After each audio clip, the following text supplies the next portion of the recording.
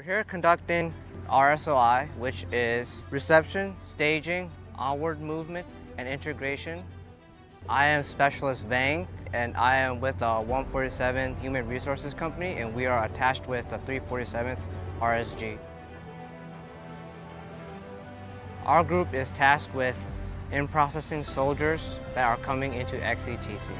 We pick up soldiers at the airport and transport them to our RSOI site.